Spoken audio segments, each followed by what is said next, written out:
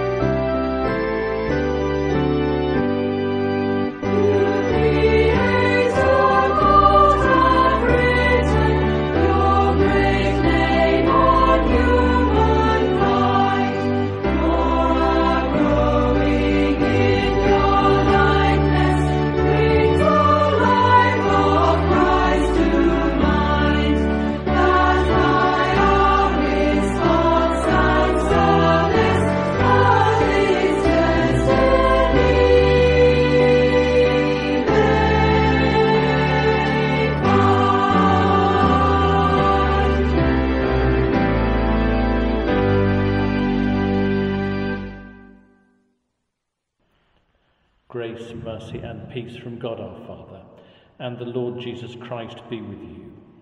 And, and with, with, thy, thy spirit. spirit. Let us pray. Our Father, which art in heaven, hallowed be thy name. Thy kingdom come, thy will be done, in earth as it is in heaven. Give us this day our daily bread, and forgive us our trespasses, as we forgive them that trespass against us and lead us not into temptation, but deliver us from evil. Amen. And we say together, Almighty God, unto whom all hearts be open, all desires known, and from whom no secrets are hid, cleanse the thoughts of our hearts by the inspiration of thy Holy Spirit, that we may perfectly love thee, and worthily magnify thy holy name. through Christ our Lord. Our Lord Jesus Christ said, Hear, O Israel, the Lord our God is one Lord. And thou shalt love the Lord thy God with all thy heart, and with all thy soul, and with all thy mind, and with all thy strength. This is the first commandment. And the second is like, namely this Thou shalt love thy neighbour as thyself. There is none other commandment greater than these. On these two commandments hang all the law and the prophets. Lord, have mercy upon us, and write all these thy laws in our hearts, we beseech, thee. Almighty God, whose kingdom is everlasting and power infinite, have mercy upon the whole church. And so rule the heart of thy chosen servant, Elizabeth, our Queen and Governor, that she, knowing whose minister she is, may above all things seek thy honour and glory, and that we and all her subjects, duly considering whose authority she hath, may faithfully serve, honour, and humbly obey her in thee and for thee, according to thy blessed word and ordinance, through Jesus Christ our Lord who with thee and the Holy Ghost liveth and reigneth, ever one God, world without end. Amen. O God, our refuge and strength, who art the author of all godliness, be ready, we beseech thee, to hear the devout prayers of thy church, and grant that those things which we ask faithfully we may obtain effectually through Jesus Christ our Lord. Amen. Amen. The lesson is taken from Isaiah chapter 10, beginning at the first verse. A shoot shall come up from the stump of Jesse, and a branch shall grow out of his roots. The Spirit of the Lord shall rest upon him the Spirit of wisdom and understanding, the Spirit of counsel and might, the Spirit of knowledge and the fear of the Lord. His delight shall be in the fear of the Lord. He shall not judge by what his eyes see, or decide by what his ears hear. But with righteousness he shall judge the poor, and decide with equity for the meek of the earth. He shall strike at the earth with the rod of his mouth, and with the breath of his lips he shall kill the wicked. Righteousness shall be the belt around his waist, and faithfulness the belt around his loins. The wolf shall live with the lamb. The leopard shall lie down with the kid, the calf and the lion and the fatling together.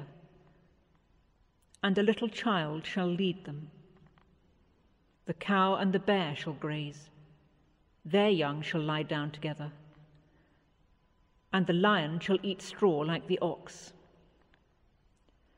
The nursing child shall play over the hole of the asp, and the weaned child shall put its hands on the udder's den. They will not hurt or destroy on all my holy mountain, for the earth will be full of the knowledge of the Lord as the waters cover the sea. Here endeth the lesson.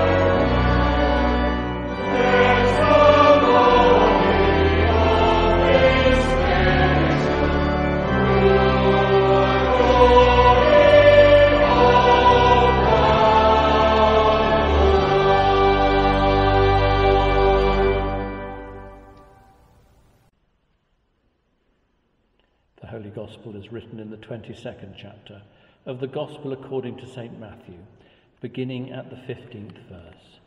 Glory, be to thee, O Lord. Then went the Pharisees and took counsel how they might entangle him in his talk. And they sent out unto him their disciples with the Herodians, saying, Master, we know that thou art true, and teachest the way of God in truth.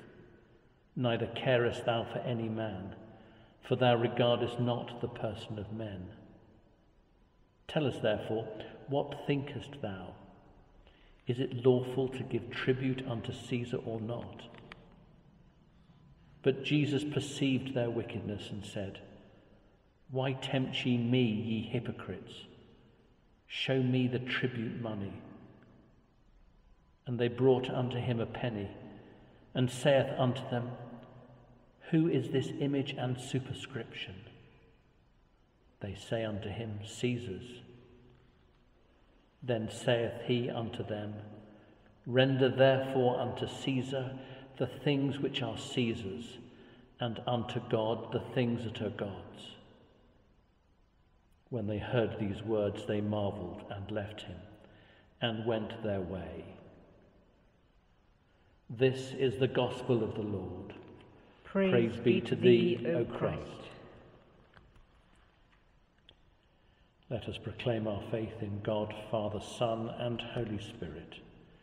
I, I believe in one God, the Father Almighty, maker of heaven and earth, and of all things visible and invisible, and in one Lord Jesus Christ, the only begotten Son of God, begotten of his Father before all worlds, God of God, light of light, very God of very God, begotten, not made, being of one substance with the Father, by whom all things were made, who for us men and for our salvation came down from heaven, and was incarnate by the Holy Ghost of the Virgin Mary, and was made man, and was crucified also for us under Pontius Pilate.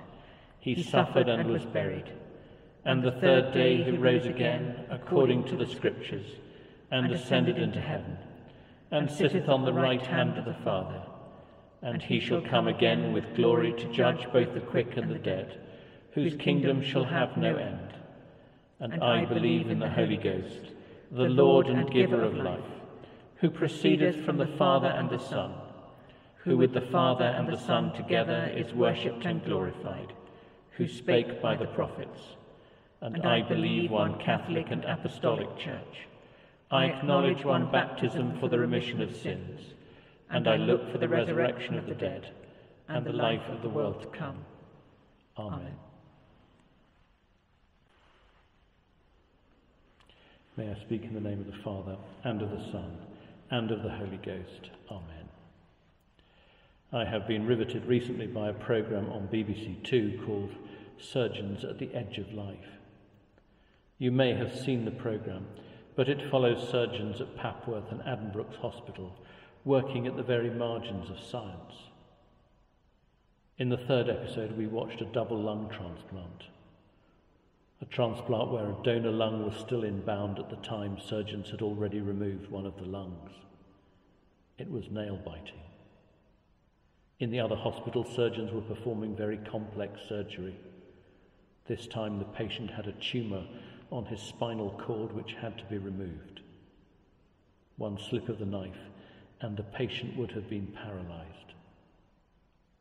I got up from the sofa after watching the programme and simply said, We are so lucky. Indeed, we are, because this life saving surgery is available for all of us. Furthermore, we don't have to worry about the cost because we pay through our taxes. Taxes which bring about a fairer and more humane society, so movingly illustrated by this programme. The programme is even more compelling for me in the light of my own personal experiences.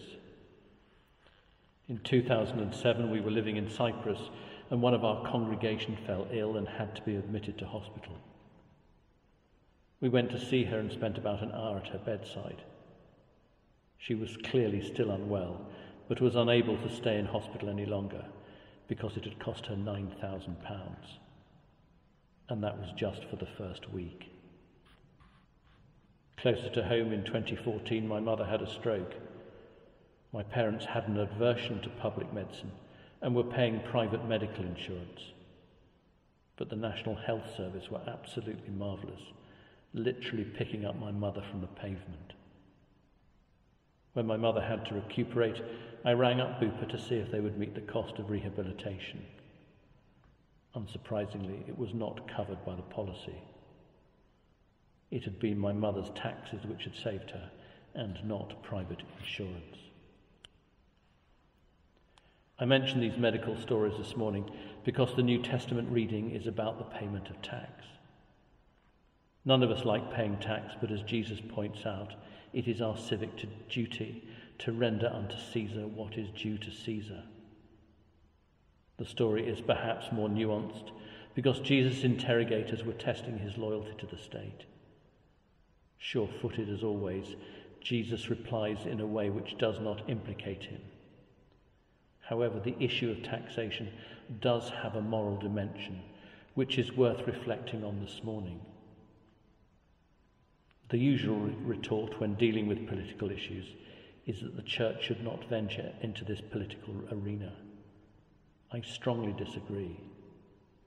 When prophets such as Amos rebuke us for grinding the face of the poor into the dust, the response should be to try and stop it happening. And when Jesus tells us that we should love our neighbour, we are not expected to pay lip service, but to do something about it. But to be fair, generally speaking, we are pretty good at giving. We give to charities, food banks, shelters, and to a whole assortment of worthy causes. But sometimes we need to think about why these problems arise in the first place. Martin Luther King said, True compassion is more than flinging a coin to a beggar. It eventually comes to see that the edifice, which produces beggars, needs restructuring. Archbishop Desmond Tutu put it this way There needs to come a point where we stop pulling people out of the river. We need instead to go upstream and find out why they are falling in. It is arguably the case that a large part to that answer is taxation. Take homelessness, for instance. When the pandemic struck, homelessness was largely eliminated through the spending of public money. The grotesque spectacle of people living rough on our streets was solved by the click of a minister's fingers. And just like that, it ended. And we've had to live with this misery for years. Broadly speaking, there are different political philosophies when it comes to tax. There are those who believe in a lower tax economy, generally from the right, who believe that wealth creation and therefore greater prosperity will follow and have a trickle down effect. We are now seeing, however, very clearly that this does not happen. The rich get richer and the poor get poorer. Then there are those from the other end of the spectrum, generally from the left, who believe in a tax and spend economy. They believe that this engenders greater fairness in society and stimulates prosperity through public investment. There are those, however, who think that it makes us poorer as a country. I'm not here to judge between the two, but I want to share some thoughts from a new organisation which has recently been set up called Church Action on Tax. They seek to examine and challenge the tax system and have come up with three overarching principles, namely sustainability, justice, and transparency. Sustainability is about what kind of world we want to create and how we refine the resources. Most people want a society where there is at least a safety net for the poor, the sick, and the aged. We do provide for the sick, which is wonderful. But just look at the poor and social care, and you will see a gaping hole. Justice is about who actually pays. At present, if you put together direct and indirect taxes, the richest tenth of the population pay 35% of their income in tax. The poor tenth pay 42%. Meanwhile, many multinationals hide in the tax shadows. Is that just? And when it comes to transparency, a significant number of those who should pay the most tax hide their wealth away. At least 13 of the worst tax haven in the world are under the British Crown. And this is deliberately engineered so that we don't have to pay to support them. In London, you will find that whole rows of houses are just left empty, having been acquired by offshore trust funds and companies. Jesus' answer this morning has often been used by those who want to keep God in a box. But I believe the exact opposite is true. In my view, Jesus' response is an invitation to us to create a better world for all mankind, a world that can be achieved in part through a fairer tax system. And as for the argument that we cannot afford this, I would revert back to the story about the health service at the beginning of this sermon. The National Health Service is one of this country's great institutions. However, the Health Service was created at a time when this country was on its knees at the end of the Second World War, a time when our debt was 250% of our GDP, which dwarfs the current 100%. We could ill afford a health service, but we achieved it, and everyone benefits to this day. If we can collectively share our resources and create such a wonderful and compassionate service, we can do so much more, even in times of crisis, and perhaps more so. And if we do render unto Caesar what is due to Caesar, we might all be able to say, We are so lucky at the same time. Amen.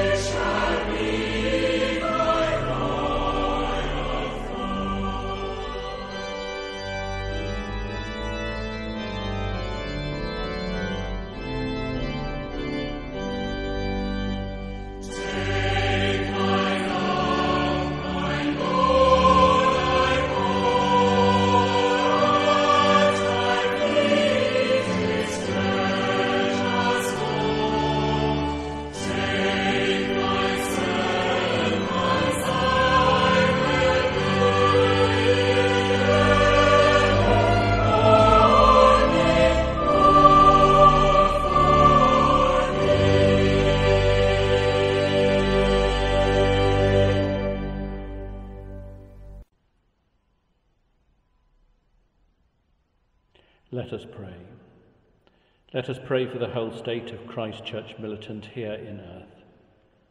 Almighty and ever living God, who by thy holy apostle has taught us to make prayers and supplications and to give thanks for all men, we humbly beseech thee most mercifully to accept our alms and oblations and to receive these our prayers, which we offer unto thy divine majesty beseeching thee to inspire continually the universal church with the spirit of truth, unity, and concord.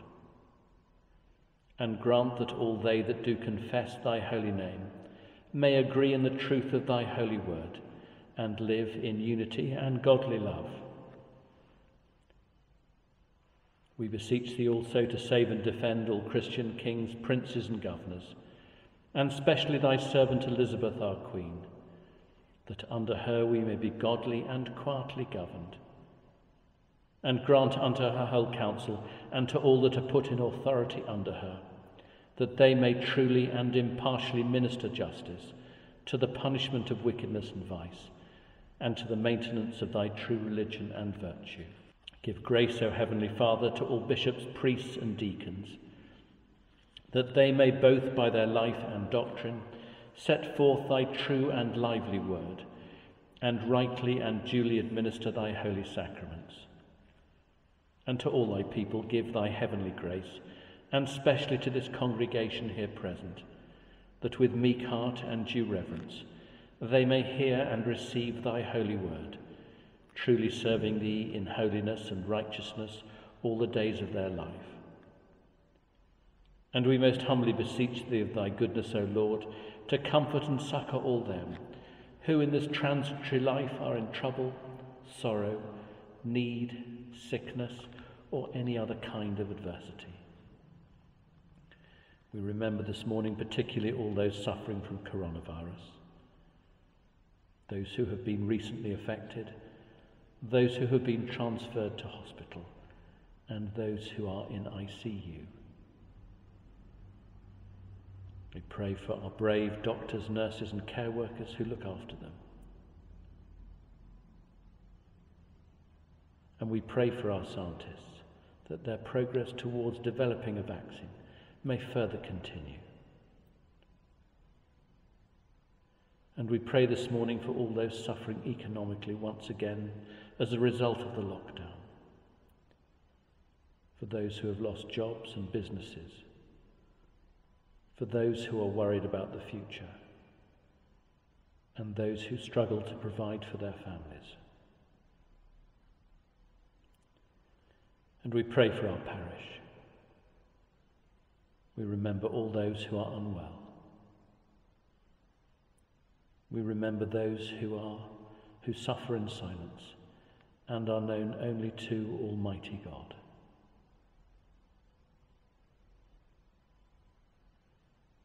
And we also bless thy holy name for all thy servants departed this life in thy faith and fear. Remembering particularly this morning Sheila Clarkson, Doris Abbott, Danny Palmer, David Lambert, George Hothersall, and Edith Armstrong. Lord, we beseech thee to give us grace so to follow their good examples that with them we may be partakers of thy heavenly kingdom. Grant this, O Father, for Jesus Christ's sake, our only mediator and advocate. Amen. our